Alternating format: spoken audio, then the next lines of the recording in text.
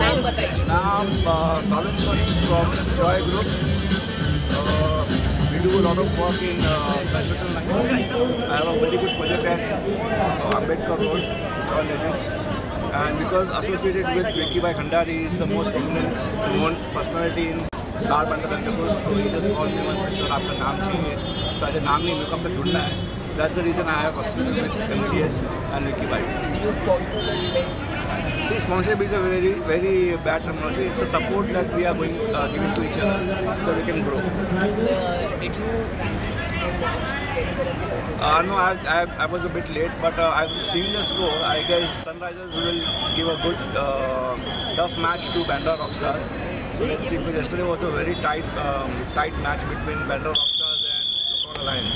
So let's see. Your main motive is to motivate the new, motivate the new youngsters and we need to build a healthy environment and uh, sports uh, environment for all the people like us. After 35 we don't don't play cricket and we go into a business and get again young at a at age after 35. Any plan you have uh, other than this? Uh, as you from the corporate? No, not right now, but as per Vicky Bhai's guidance, we will follow his footsteps because I guess Vicky Bhai is doing very good uh, in cricket and sports. So I guess he's taken one or two teams in some other league also. So we'll support that in support and maybe be a part of it. You're, you're from construction uh, CEO, right, sir?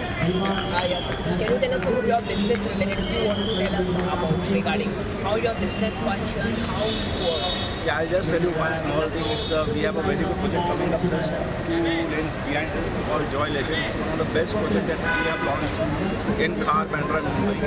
And uh, two days back only we have launched the show flat. So recommend all, each and every person seeing this, please come and have a visit and have a look at the show flat. And please, uh, uh, I'll tell you, okay, before buying any, anything else, you can buy this. And this is a construction where it's 1.5 acres of land, which no developer in this area has acquired such a big land.